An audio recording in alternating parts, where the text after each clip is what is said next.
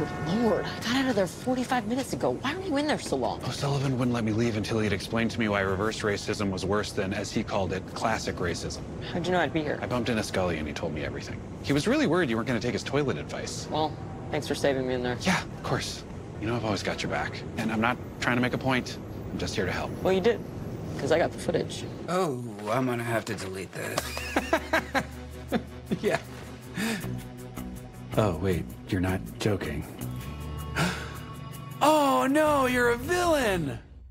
Why'd you delete it? You said you'd help us if we got proof. Yeah, but I didn't think you'd get proof, get proof. I thought you'd just, you know, get proof. There's proof and there's proof. You got the wrong kind of proof, I don't know how much clearer I can be. So you were never gonna help us? I am helping you. I can still get the charges against your client dropped now that I saw that footage. I'll get my officers to revise their statements. And they'll be punished? No, there's no way I can suspend them. Suspend? I thought you would fire them.